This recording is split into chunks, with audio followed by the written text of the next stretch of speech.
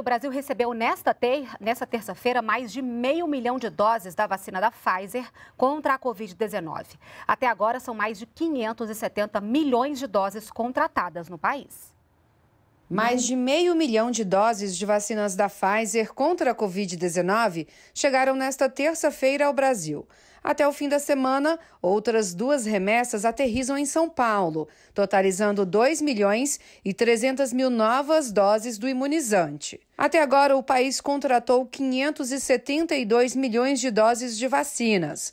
Outras 90 milhões estão em negociação. Por enquanto, são três os imunizantes aplicados no Brasil. Coronavac, AstraZeneca e Pfizer. Nas próximas semanas, a Janssen também chega ao país para fazer parte do Programa Nacional de Imunizações. E atenção para quem já está imunizado. A Anvisa alerta que os testes para diagnóstico da Covid-19 disponíveis no mercado não devem ser usados para ferir o nível de proteção contra o coronavírus após a vacinação. E por um motivo muito simples: esses testes não foram feitos para isso.